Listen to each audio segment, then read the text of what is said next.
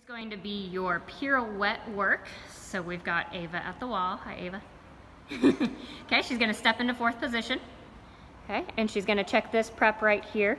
See her head, shoulders, hips, and knee are in a straight line. I could draw a line. Oh, look, she's right on the wall actually. So there's a line down the wall that goes straight through her body. Um, a lot of people, when they hit this position, are gonna lean their head forward. Watch how she does it wrong.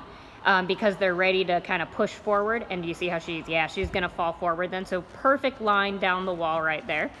And then she's going to push down into the ground to give herself a little oomph and go straight up to passe releve. Awesome. And looking at that very bottom standing leg, it's straight and her heels lifted off the ground. Her passe is like a table.